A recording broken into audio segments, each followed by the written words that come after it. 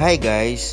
Kung naghahanap kayo ng masarap na kambingan at nadaan kayo dito sa may sauyo, itry nyo tong kambingan ni Chong. Grabe, legit na legit yung lasa. Parang lutong probinsya. Marami na akong natikman ng mga luto ng kambing pero ito ang isa sa mga nagustuhan ko. Marami rin kumakain sa kanila, come and go yung mga tao nung nagpunta kami. Sinubukan namin itong papaitang kambing, kalderetang kambing, kilawing kambing, at meron din silang karabip tapa. Yan, okay din yan, masarap yan.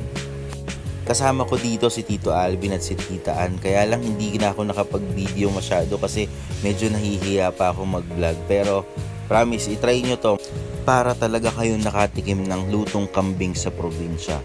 Yun lang. Thank you!